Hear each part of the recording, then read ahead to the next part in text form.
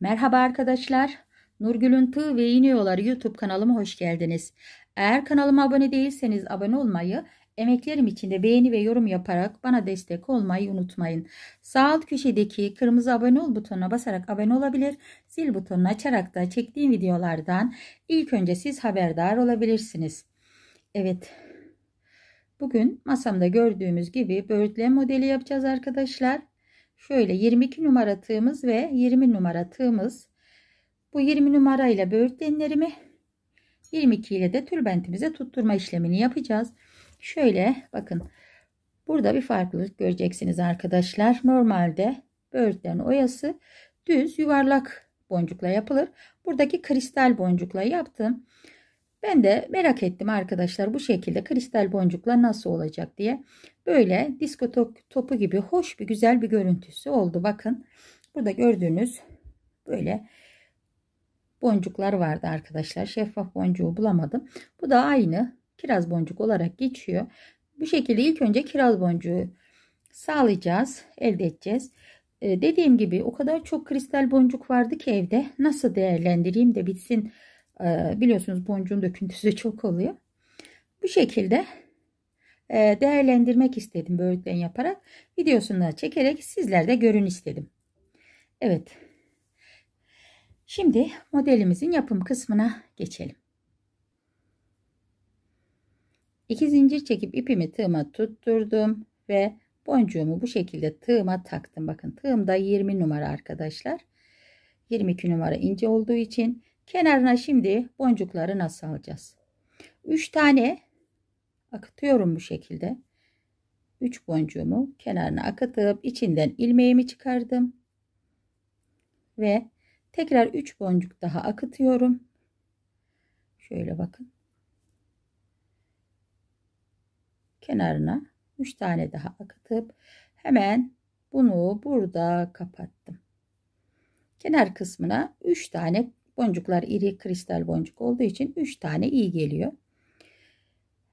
Takıyorum tığıma. Bakın şöyle. 3 tane yine kenarına akıtıyorum. Şöyle akıttım. İpimle ilmeğimi şey tığımla ilmeğimi çektim içeri. Şöyle parmağımla tutuyorum. Bir üç tane daha akıtıyorum ve kapatıyorum yine aynı şekilde. Boncuğumuzun kenarını bu şekilde dolduruyoruz. Toplamda 12 tane oluyor. Şimdi 4 tane oldu. Bakın bu şekilde 4 tane oldu. Her seferinde 3 tane bu şekilde akıtıp şöyle tığımı tutuyorum. Yine 3 tane akıtıyorum. Hemen doluyor bu şekilde. Daha önce bu şekil yapmıyorduk arkadaşlar tek tek alıp kapatıp tek tek, tek tek yapıyorduk. Bakın yine aynı şekilde. Bir daha böğürtlen yapmam demiştim ben. O şekil yaptığım için çok zor olmuştu. Ama bu taktiği görünce hemen benim gibi böğürtlen oyasını sevip de yapılışını zahmetli bulan arkadaşlar için bu videoyu çekmek istedim. Bakın tutuyorum. Şimdi 3 tane daha akıtıyorum. Hemen buraya kapattım bakın tığımı buradan şöyle alt kısmını da göstereyim arkadaşlar. 3 tane ilmeği akıtıyorum. Şey boncuğu akıtıyorum. ilmeği alıp şöyle başa çıkıyorum. Başta aldığım ilmeği şöyle elimle baskı kuruyorum parmağımla. Yine 3 tane böyle akıttım. Ve kapatıyorum bu şekilde. Toplamda bu şekilde 12 tane oluyor veyahut da sayma üşenenler bu şekilde kapatana kadar da yapabilir. Bakın kristal boncuğun özelliği de böyle girintili çıkıntılı oluyor arkadaşlar. Öbürü gibi düz olmuyor. Elinde olup da benim gibi böyle değerlendirmek isteyen arkadaşlarıma fikir olsun. 3 taneyi akıtıyorum. Sonra ilmeği içeri çekip tığımda 2 tane ilmek var ve 3 taneyi daha böyle akıtıp kapatıyorum. Evet bakın buraya iki tane daha sığır. Son iki taneyi de yapalım. Evet bakın üç tane. Şu çözünürlük bozulunca inan arkadaşlar ben de kameradan baktığım için göremiyorum. Şöyle 3 taneyi bu şekilde bakın. Son üçü de şu aradan şöyle sığdırarak kapatıyor. Uç kısmı bu şekilde oluyor. Bakın şunu da kopartayım sizler için daha net güzel gözüksün. Evet. Kapalı kız e, şey uç kısmını da bakın ördüğümüz zincirlerde topladığımız bu kısım. Şimdi buraya inci takacağız bakın. Buradan bitirdik ya. Şöyle biraz ipi uzun bırakın arkadaşlar. Elinizle baskı oluşturun. Şöyle en uç noktasından bu şekilde çıkardım. Buraya sarı inci koydum. Gördünüz. Sarılara da kırmızı inci koydum. Şimdi buraya incimizi alalım. İncimi aldım. Hemen bakın buraya tığımın üzerine koydum. Buradaki ilmeği içinden şöyle incinin arasından çekerek bu şekilde şimdi arkadaşlar bakın burası böyle elimizle düzeltip şöyle herhangi bir boşluktan şöyle aradan bakın kaynaştırarak kırmızıların arasından bu şekilde kapatıyorum. Bakın kaynaştırdığınız takdirde bu şekilde kapanıyor. Şöyle dibine de bir tane zincirimi çektim. Hemen ipimi kopardım. Ee, normalde yaparken inciyi alıyor, alınıyordu arkadaşlar. Bu inci koptuğunu düşünün. O yüzden ben sadece buralardan tutturarak yapıyorum. Şimdi bunu yakalım uç kısmını. Buraya yapıştırıyorum. Bu şekilde altta kalacak bu kısım. Şöyle inceleyin arkadaşlar. Bakın çok güzel bir boncuğumuz oldu. İpi geçirirken açılma oldu ya o geri kaynıyor boncuklar geri üst üstüne geliyor. Ben aradan ip altta kalsın boncuğun üzerinde kalmasın diye bu şekilde kaynaştırıyorum. Evet bu kadar böğürtlen arkadaşlar çok da güzel bakın şu duruşuna girintili çıkıntılı çok hoş duruyor. Evet şimdi bunu e, tülbentimize monte etme işlemine geçelim. Evet arkadaşlar bakın bu şekilde şöyle içinde sarı ve kırmızıdan oluşan çiçekleri olan bir tülbentimiz var. Şu şekilde daha net göstereyim. Bakın böyle sarı ve kırmızı renkler güllerden oluşan tülbentimiz var. Şimdi bu yapmış olduğumuz böğürtlenimizi bakın buralarda bu şekilde aralıklarla yaptım. Şöyle göstereyim. 13 tane koyuyorum. Biliyorsunuz boncuk ağır oluyor arkadaşlar taşıma yönünde. E, o yüzden ara mesafesini bu şekilde 13 tane yaptım. E, istenen de bu şekildeydi. Arkadaşım bu şekilde hani başımdan kaymasın arkaya demişti. E, bu şekilde tığ battığımızın içine sık iğne ile sabitliyorum. İki tane zincir çektim. Bir defa doladım. Hemen boş olan tığ battıya bu şekilde iki, iki alarak trabzan yaptım. Yine iki zincir çekiyorum. Yaprak yapacağım için buraları boş ara suyu gibi ama boş olarak yapıyorum kirpiksiz. İki zincir çekiyorum. Bir defa doladım. Hemen iki, iki alarak şöyle bir trabzan yaptım. Yedi zincir çekiyorum. Ve yedi zincir. Şöyle ışığımızı yaklaştıralım. 7 zincirimi şöyle ters tarafına çevirdim.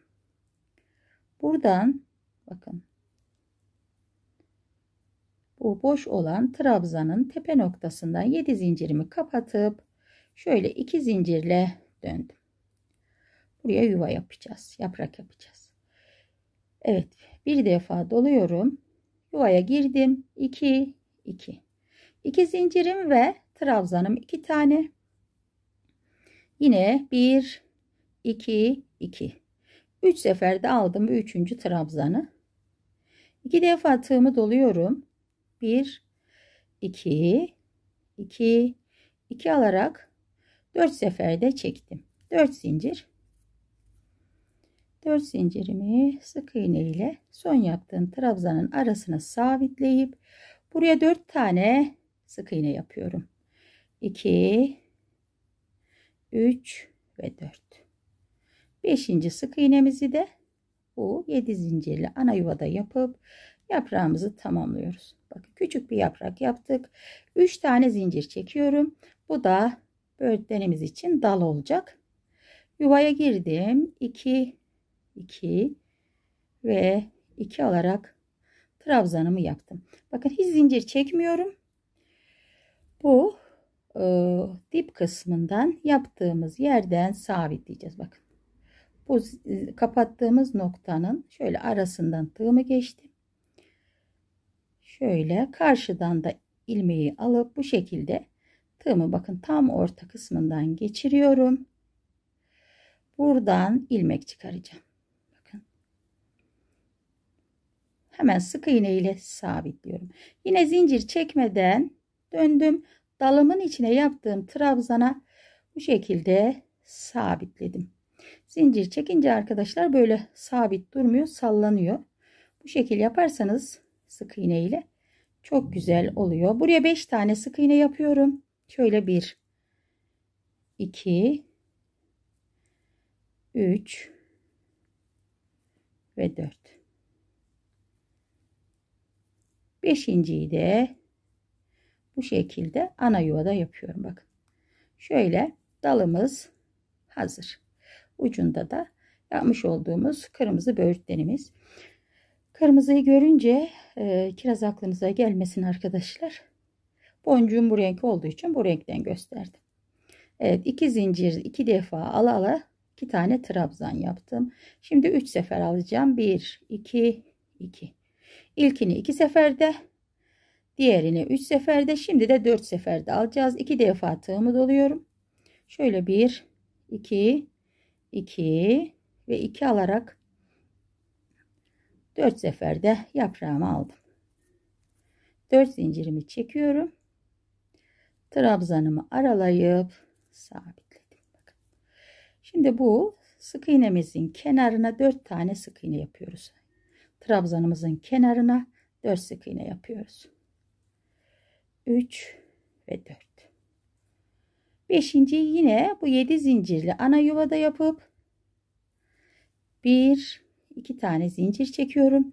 Boş olan tığ battıya kapatıp bakın bu şekilde aşağı inip bitiriyorum. Evet çok tatlı oluyorlar. Bakın tülbentin renkleriyle de böğürtlenlerim rengi uyum sağlıyor. Yine iki zincir çekerek 2 2 alarak bakın şu göstermediğim ara suyunu yapıyorum. Bu şekilde trabzanı yaptık. Üzerine 4 zincir trabzanıma kapattım. Dibine bir tane sık iğne, bir iki zincir. Hemen yandaki boş olana sabitliyorum. Bir iki tane zincir, bir defa doladım. Hemen şu şekilde iki iki alarak trabzanımı yapıp üzerine 4 zincirden tomurcuk hemen dibine bir sık iğne yapıyorum ki şöyle daha belirgin bir tomurcuğumuz gözüksün. Bu şekilde sabitliyorum. 2 zincir bir defa doladım. Hemen tığ battıya 2 2 olarak aldım. 4 zincir kapattım.